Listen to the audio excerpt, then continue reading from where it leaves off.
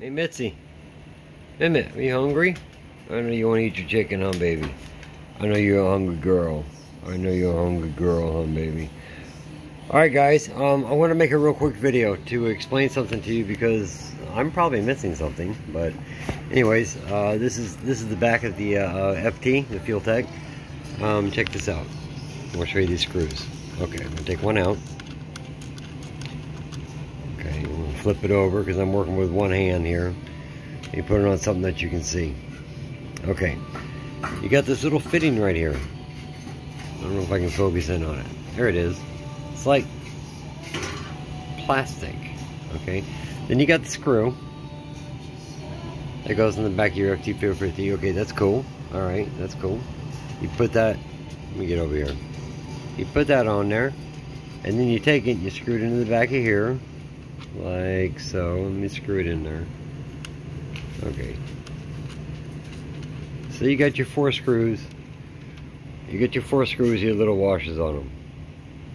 Okay, now I'm to set it in the bracket right there that I made. I made a dash. I made a cool dash. And um, the, the couple reasons why I made out of Lexan is it's indestructible. Um, it's quarter inch. It's not to flex. It's not to vibrate around your car or nothing like that. I probably shouldn't be showing that movie, so I got to turn it. So, um, and they and uh, for these little uh, bolts right here, let me see if I can hold me see if this makes it better. Yeah, for these little bolts right here, they give you a nut. But what I did is I went ahead and I threaded it right into the Lexan, and they they crank down tight. They're not gonna come out. They're not gonna loosen. They are in there, um, like permanently. So anyways, let me see if I can fit. Um, I'm not getting to the point yet that I want to show you. See if I can set my camera down. Give me a second. Okay, well, I, I can't do it, but, well, maybe I can. I'll set that down. Anyways, you shake down, you shake down those little screws, and they drop in. They drop in until until they lock, until they actually slide and lock in. Hold on. Here, I gotta hold this up for a minute. I'm gonna talk to you. Just, I'm trying to get them to lock in. Give me a second here. I'll get them to lock in. Maybe I got them too tight. Hold on. Just, just hang in there. Yeah, I got, yeah, I got, I got this one too tight. Let me loosen a little bit.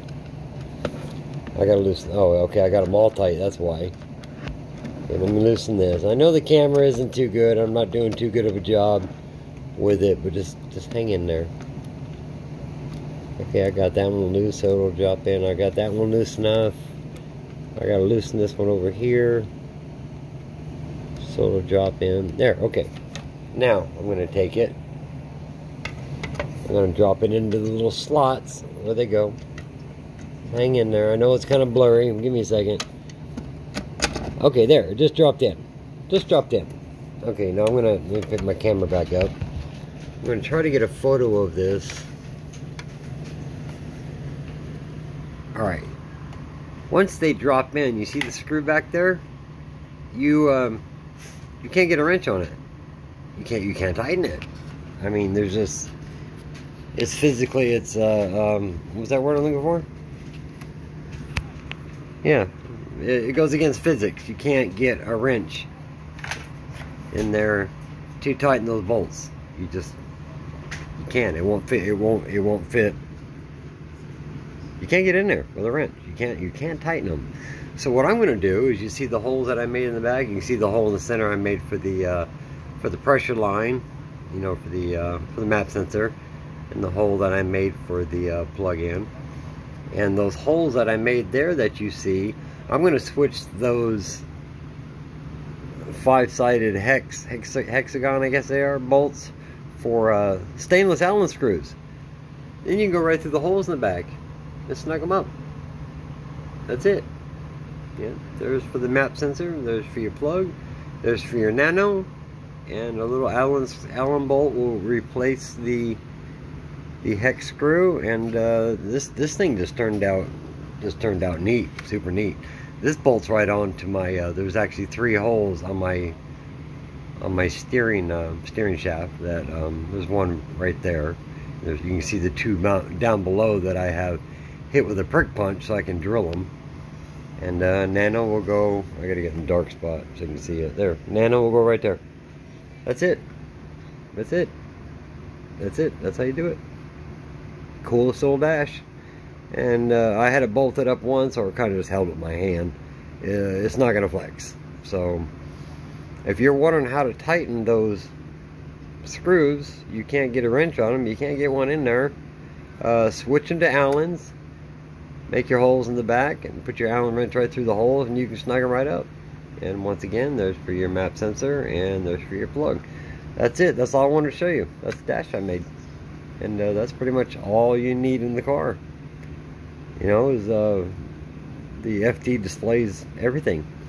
And uh, I got the rest of the sensor in, sensors in today um, you know the rest the 150 uh, psi sensors and the water temp sensor and the air temperature sensor. I got all those in the mail today. They all came. Um, I also got the um, it's on my IG I think my IG is under Hiscott Jim H-I-S-C-O-T-T J-I-M I think it's Hiscott Jim or Jim Hiscott. It's one or the other. Anyway you'll see you'll see these parts uh, if you got the right one, which I think is Hiscott Jim, Hiscott Jim, And uh, you'll see all the pictures and the new stuff that I got today, which I'm not going to drag that out and put you through that. There's no sense in it. We know what these aftermarket parts look, look like, but anyways, yeah, that's uh, that's that's going to be the dash. That's it. All right, guys. Okay. Um, any questions? comment, ask questions. You want to know how to build, how I built it or how I cut this. Um, I actually made the I actually made the saw blade that I that I cut this quarter inch Lexan with, it, it came out super smooth. I mean, I didn't have to file it, sand it, or nothing. Which, of course, you know you can't sand you can't sand Lexan Lexan worth a damn because it's so rubbery. But um, it came out just super smooth. And uh, later on, when I do my windows, my Lexan windows, I'll um, I'll show you the blade and how I cut them so it'll make it easier on you guys when you go to do it for yourself. Um, as far as the, uh, the cancer thing goes, once again, um, I do have two two brain tumors, uh, granuloma in my granuloma in my liver, and a big black spot in my lung. So um, we are going to do a fundraiser because I have maybe nine months left. From what I, from what I'm told, they estimate I got a 13% chance of making it nine more months. I got to raise five grand to finish this car, or the whole investment of 28,000 just goes away. And when I pass on, it's it's pretty much just all junk. What's my wife gonna do with it? Nothing. I mean, she can't. She doesn't know how.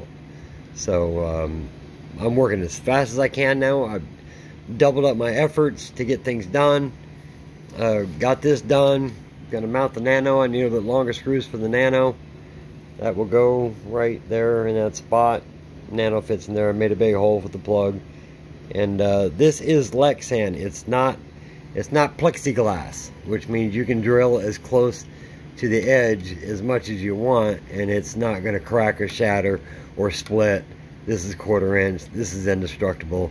Um, you can't shoot through it. So you don't have to you don't have to worry about it. So anyways, that's how we're doing it.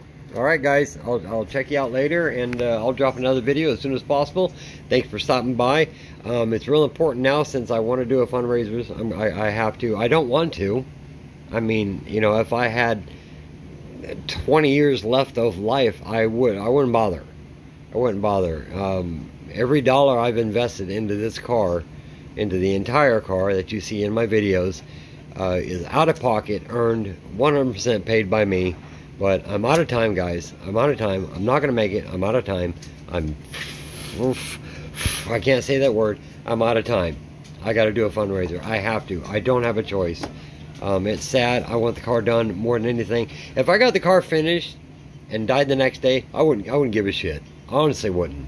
I want the car. I, I need the car. I need the car done. It is the only thing of value I'm leaving my wife, and uh, she wants to see it done.